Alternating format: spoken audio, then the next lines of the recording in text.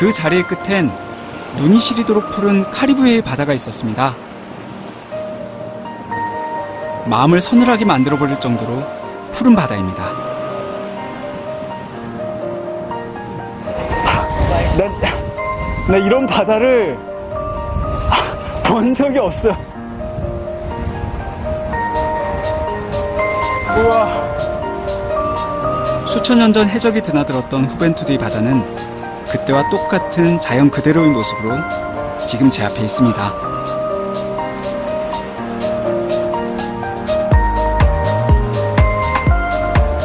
이런 표현이 어떨런지 모르겠지만 너무 맛있는 음료수 같아요.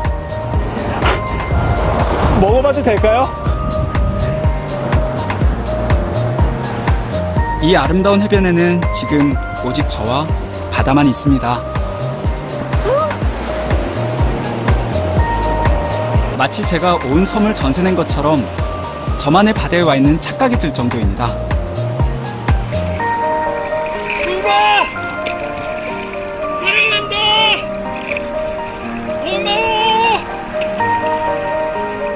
지금 이 순간 저는 가장 아름다운 쿠바를 만나고 있습니다.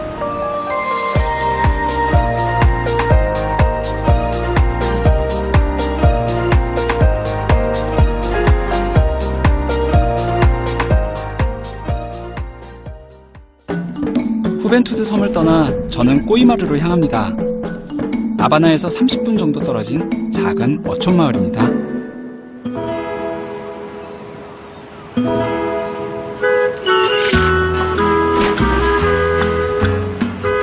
꼬이마르는 세계적인 소설가 해밍웨이가 20여 년간 머물렀던 한적한 어촌 마을입니다. 그 유명한 소설 노인과 바다의 배경이 된 곳도 바로 이곳입니다. 쿠바를 여행한다면 해밍웨이가 머물렀던 이 마을에 꼭 와보리라 생각했습니다. 좋아하는 책의 배경이 된 곳에 직접 와본다는 건 참 설레는 일입니다. 해밍웨이는 이 마을에 머물며 낚시를 하고 모히또라는 칵테일을 마시며 소설을 썼습니다.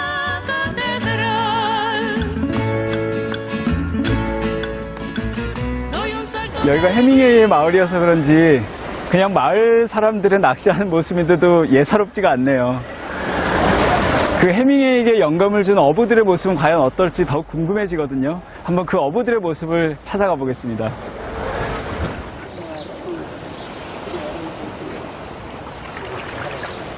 바닷가를 걸어가다 고기잡이를 하는 어부를 발견했습니다. 이야기라도 나눠보고 싶어 가까이 다가가 봤는데요. 이들이 잡은 건 바닷개입니다. 오, 개를 어떻게 이렇게 많이 잡았지? 별다른 도구도 없이 어떻게 개를 이렇게 잡았는지 물어봤습니다. 음. esto. ¿eh? 아, 이게. 미끼가 되는 거라서 넣고, 음. 아. 듣고 보니 별 어려울 것도 없어 보입니다. 저는 파울로 씨의 개잡이에 동참해 보기로 했습니다.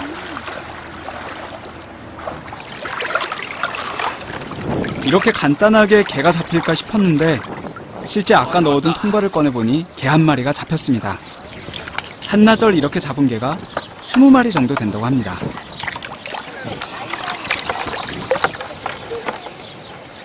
재밌는 건 잡자마자 게 껍질을 벗겨야 한다는 겁니다. 이분들은 게 껍질은 안 드시나 봐요. 그래서 이 자리에서 얘들이 살아있으면 약간은 위험하니까 이 자리에서 바로 등 껍질은 떼서 물고기 밥으로 주고 이- 여기서 이제 게들이 죽은 채로 물 밖으로 끌어가시는 거예요. 저한테 한번 해봐. 해보라고요? ¿Puedo probarlo? 이렇게 잡고 여기를 Ahí. ST 피스에 어 Está 여기 잡으면 안 되나? 어우, 이게 힘이. 아, 전 옆에서 보면서 아무것도 안 이러고 생각했는데. 우와. 아, 자. 아. 아, 엑셀렌트. 엑셀렌트. 음. 얼마 잡지도 않은 것 같은데 오늘 일이 끝났답니다. 오늘 잡은 개로 요리를 해주겠다며 파울로 씨가 저를 초대했습니다. 아기? En mi casa. Un cubano. 갑자기 찾아온 외국 손님인 저를 스스럼 없이 반갑게 맞아줍니다.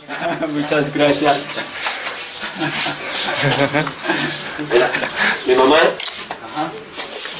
지금 이 집에선 부모님과 파울로 씨가 함께 살고 있습니다. 파울로 씨가 만들 요리는 토마토 게찜. 이름을 들을 땐 거창해 보였는데 오늘 잡은 게에 소금을 뿌리고 그 위에 토마토 소스를 끼얹는 게 다입니다. 이제 이렇게 푹 익히기만 하면 됩니다.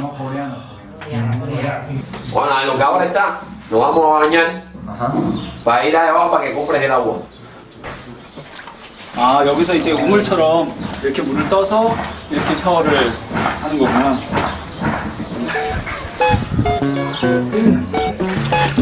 Adiós, compa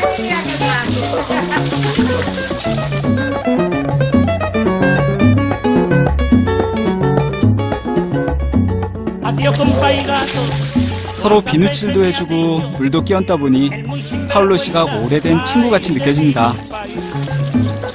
아, muy bien, muy bien.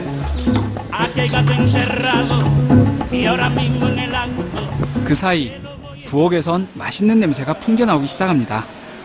Nieta, nietecito. Este tiene seis. Y ella tiene dos.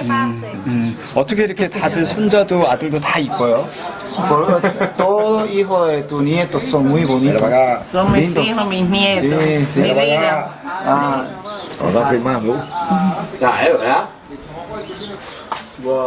마침내 요리가 나왔습니다. 이건 오늘 우리가 잡은 게 전부를 요리한 겁니다. 따로 직업이 없는 파울로 씨는 한나절 이렇게 고기잡이를 해서 끼니거리를 마련한다고 합니다. Rico, es rico. riquísimo. 이번엔 파울로 씨 어머니가 독특한 쿠바 음식을 내왔습니다. Bueno, y espero que les guste. Son unos tostoncitos que les hice ahí para que. De saladito. 쿠바에서는 바나나 튀김을 식사 대용으로 즐겨 먹는다고 합니다. 아, 맛있네. 바나나 질감이 있으면서 겉은 바삭하게 익었어요. 그리고 약간 소금 간을 하셔가지고 과일보다는 약간 식사 같은 느낌이 나게 그렇게 만들어 주셨네요. así es más natural. Así es natural.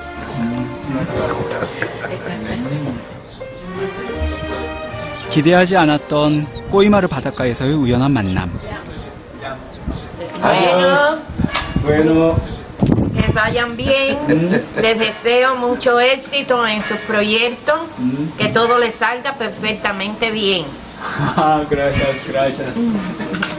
aquí tiene un amigo. Tiene aquí una cama. madre. o una abuela. Sí, sí.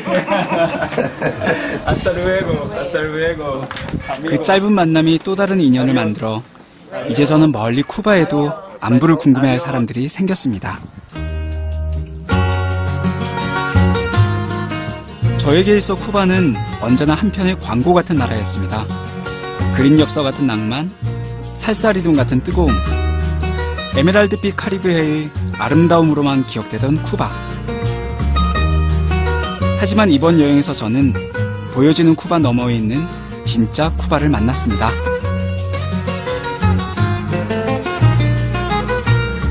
광고가 없는 나라가 아니라 선입견이나 편견이 없는 나라.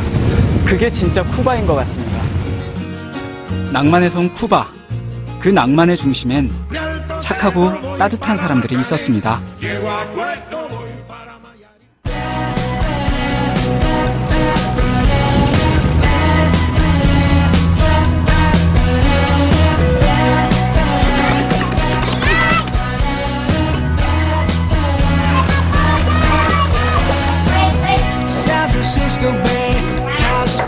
안녕하세요 이렇게 해요.